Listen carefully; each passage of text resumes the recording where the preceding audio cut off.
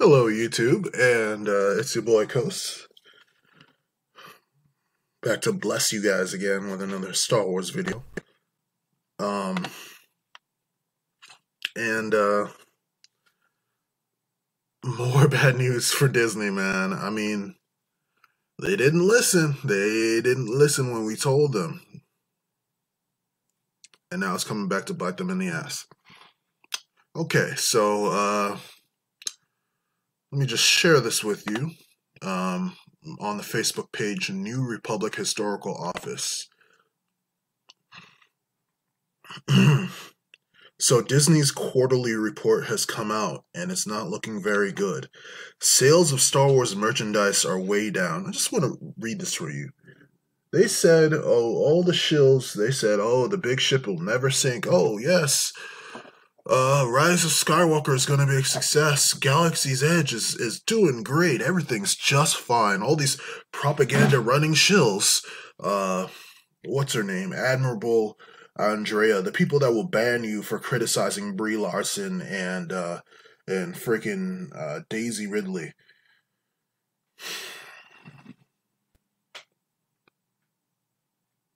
The people that have been lying to everyone about the state of this franchise.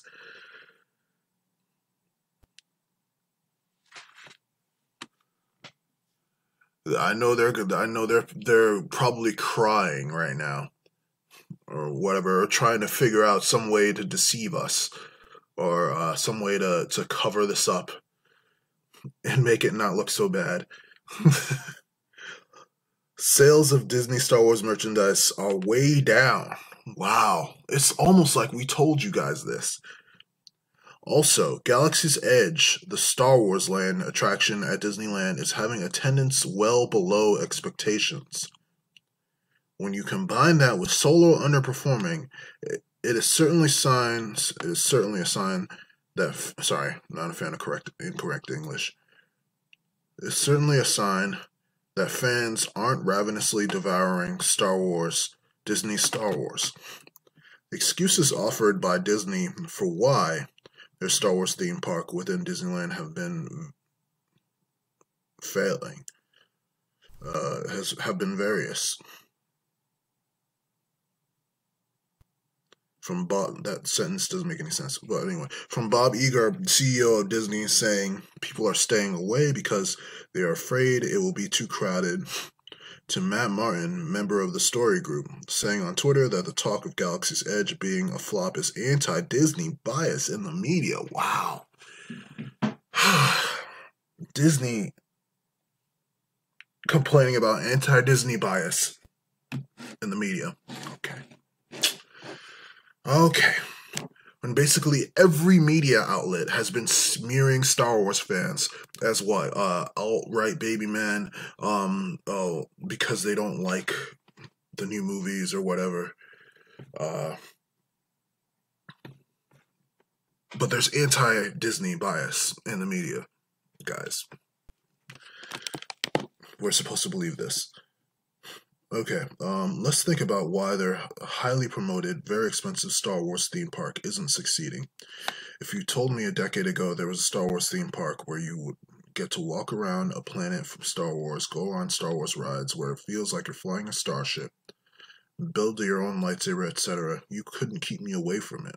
So why aren't I packing my bags for Disneyland? Well, first, it's set entirely in the Disney Star Wars sequels. The setting for it, you wonder why it's failing. The setting for it is a planet that didn't even exist in Star Wars lore until last year, when it was first mentioned in one of the reboot novels. You aren't visiting an iconic planet of Star Wars, you're visiting a planet that wasn't even a part of Star Wars until last year. The attraction has a single ride and consists mostly of gift shops and a cantina. I realize I have no reason to go across the entire breadth of Star Wars from 42 years of Star Wars lore, most of which they erased when they when they bought it out. Of course, it's it's now Legends. and that's why we say legends never die. The place is entirely immersed in the Disney sequels. It's a couple of rides and a lot of very expensive gift shops. Would you pay the huge cost of Disney vacation, airfare, hotels, tickets, easily making the trip cost thousands of dollars to go on one ride and then shop at some gift shops? Also, there are many anecdotal reports on Twitter that the expensive $200 lightsabers that can be built by visitors there tend to break down or malfunction, with some not even making it out of the park before failing. Others breaking days or weeks later. Wow. They could have, by comparison, set the Star Wars attraction in a more iconic, well known part of the Star Wars galaxy like Tatooine. I think the reason they didn't was that Tatooine hasn't appeared in the sequel movies, so they didn't want to remind fans about the pre Disney Star Wars. They do seem to not want to remind fans that Star Wars existed before Disney bought it. Exactly. It's like Disney hates their own fans. It, it well, it, it's their fans now. It's it's like they hate Star Wars fans. You know, and Lucas, you know, God bless him, you know, never expressed this contempt for uh for his own fans and but we express well not not me but like the people who were uh who hated on the prequels expressed so much contempt contempt for him it, it was it was just like almost expected that he was gonna that he was gonna sell it you know by some people. I mean, for me, it was like, nah, he's not gonna sell it.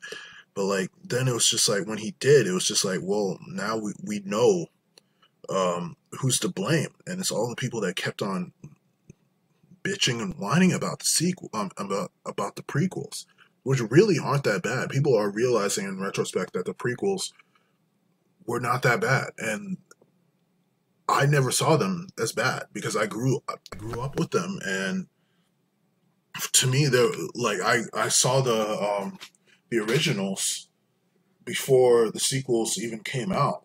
I, am sorry, before the prequels even came out, and um, I was anticipating the prequels when back in like when I was a little kid, like 90, 98 or so.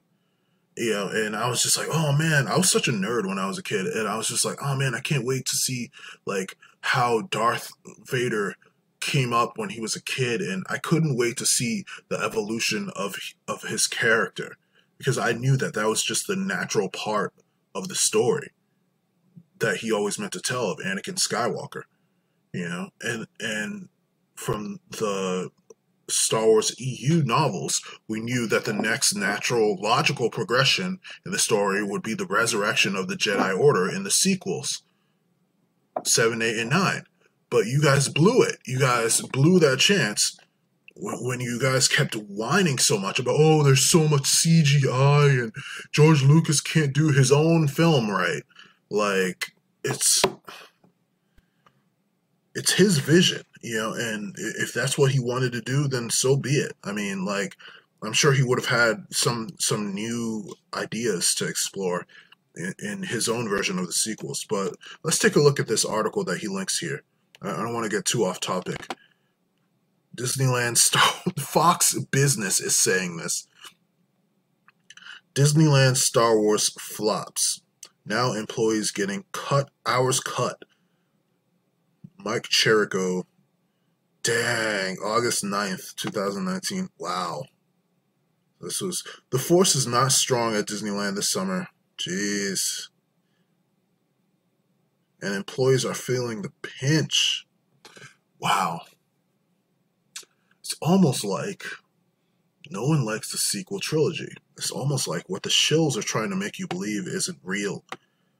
Remember that shill I showed you in the in the other video, trying to convince everyone that the the Last Jedi didn't tank Star Wars. trying to who was he trying to convince with that? Anyway, Wait times this summer for the new Millennium Falcon Smuggler's Run ride were expected to be over two hours long all summer, but in reality, the lines have been averaging half of that or less. An employee who spoke under the condition of anonymity says Fox Business. As a result, the company has been forced to cut hours. The need for us to work simply isn't there man. Employees are now working under 40 hours per week. Our hours have been cut as low as 30 to 35 hours some weeks, in, even though we have both worked for the park for the for years. It makes life challenging when your paychecks get cut unexpectedly. Wow, a worker can earn around 15 bucks an hour, the reduced work week means a paycheck before taxes could fall from 600 to 450. Jeez, it's almost like they should have listened to the fans, you know? It's almost like the problem is them and they need to look in the mirror and say, hmm, maybe I'm the one who screwed up. instead of just blaming the fans for everything.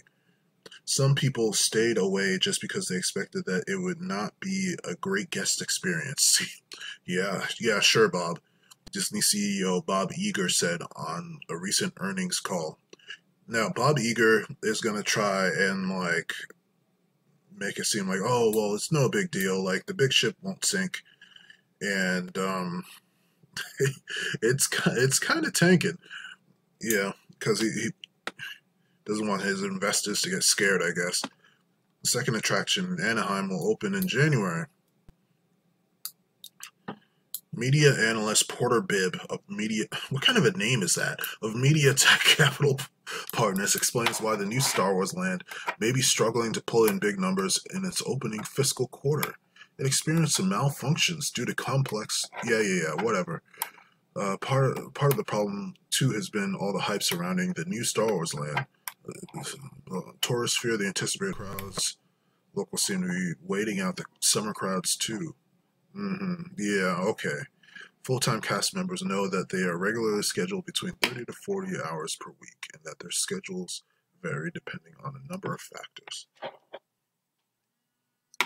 Right. Anyway, guys, it's just ironic to me. Um, all these shills out there, uh, Admirable Andrea, um, Dr. Ragnarok, all these certified Disney shills uh, are out here preaching that everything is good when uh, behind the scenes, Bob Iger is nervously sweating. praying to God that the Rise of Skywalker does something to boost this franchise. Uh, they even they even brought back the Obi Wan the Obi Wan film from the dead. They resurrected that shit because Disney Kid is so bad. They resurrected it because uh, they know that that Disney canon is their original, their quote unquote original characters are trash. Um, Matter of fact, I just saw in one of these Facebook groups that uh, Jacen Solo, um, that Kylo Ren uh, is is nothing but the Dollar General version of Jacen Solo, which is a fact. He's a he's a dollar he's a Dollar Tree uh, version, uh, great value version of uh, Jacen Solo and uh, and Darth Revan fused together. This is what happens when you get rid of 30 years of established canon uh, and try to start over again in in like two years and expect the same success. It's not gonna happen. You should have just gone with what you had.